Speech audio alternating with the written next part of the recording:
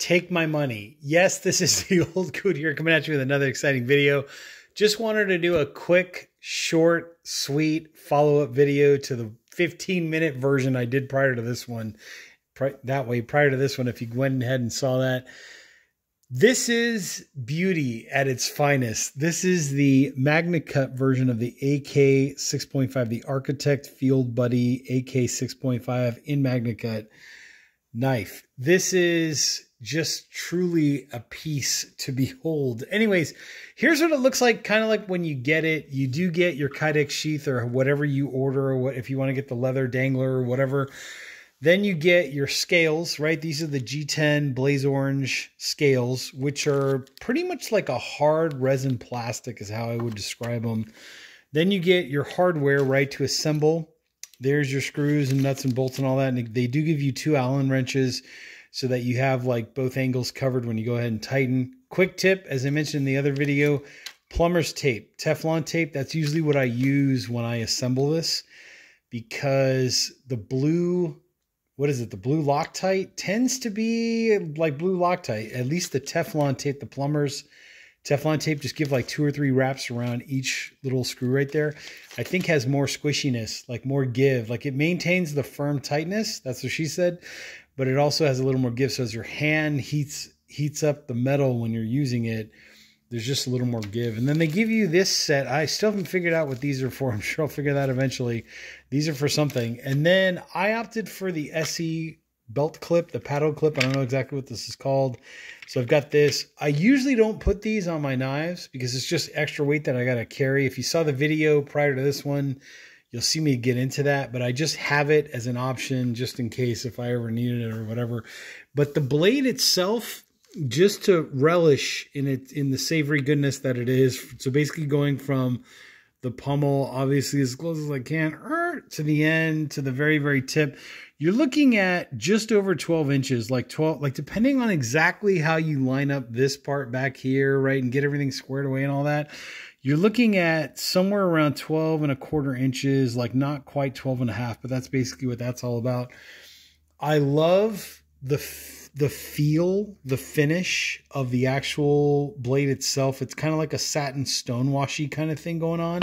It does still feel very smooth, like very smooth, not not textured at all, which which which is what I was kind of expecting. But it's very smooth. It's very like polished. It's very nice feeling. And then let me get some of this other stuff out of the way. So just to quickly recap what I covered in the other video, but keeping this one short and sweet, you do get a textured pommel back here with a little bit of jimping on the end of the pommel, which is kind of nice. What it feels like is even though, let me flip this around without killing myself. Basically what it feels like is, is you do get like polishing, but it's also rough. So like in the middle areas, it's rough. So it does kind of have like a little bit of a texture to it when you run your fingers across, but like the outer edges are smooth, but the center is rough. So that's what gives you that that grippage back there like when you pummel something you're going to make you're going to connect with that walnut shell or whatever you're trying to maybe literally whatever you're trying to you know connect with or whatever. Same holds true with the jimping up here. I'm not a jimping fan at all. Like i'd rather just have it smooth because if i had to use the finger twirl and do some fine detail work you know whatever i just i just i don't know. I'm not like a jimping guy. But anyways it came with it, so I got it, and that was the option. But like I said, it's basically smooth on this outer edge, but once you get to the center of the jimping, you'll feel like some grippiness, some texture. And obviously, if you're using work gloves or some kind of camp gloves or whatever, and you're doing that, you know, more power to you. You're just going to get more of a grip. The finger choil itself, I feel, is decent. You know, it's got like enough of a choil right here that you can get your finger in there and kind of do your, you know, fine edge work and that kind of stuff great little knife. You know, overall, just a great little knife. I do like the belly of it, right? The actual belly. I I know there's some of you out there that are probably going to use this as like your primary maybe hunting knife like you're going to go skinning game with it and that kind of stuff and maybe do you know you want to carve out that wooden spoon when you're doing your bushcrafty kind of stuff. Me, I'm going to baton the f out of this thing.